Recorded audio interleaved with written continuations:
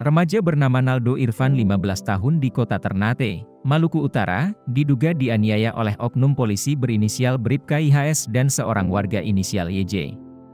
Kasus tersebut kini sedang dalam proses hukum. Ada lebam dan kemerah-merahan di bagian mata kanan korban, ujar paman yang juga kuasa hukum korban, Bahmi Bahrun, Selasa, 27 Februari 2024.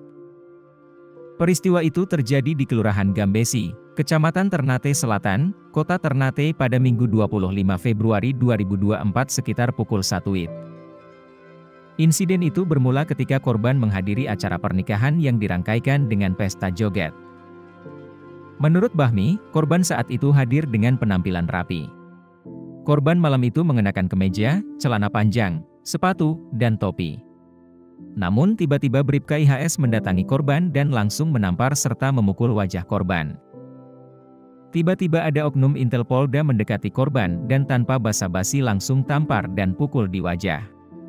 Katanya gara-gara ponakan saya itu pakai topi. Tapi kan kalau memang salah kenapa tidak tegur baik-baik, ini langsung main pukul, ujar Bahmi.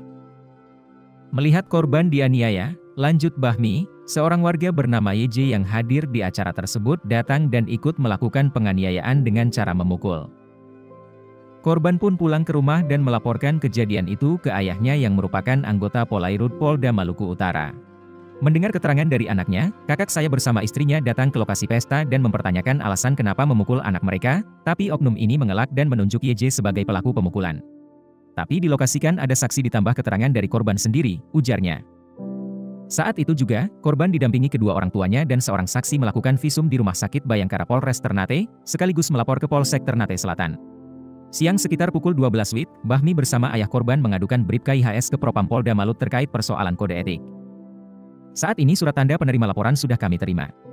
Sementara kasus ini diproses di Polsek Ternate Selatan.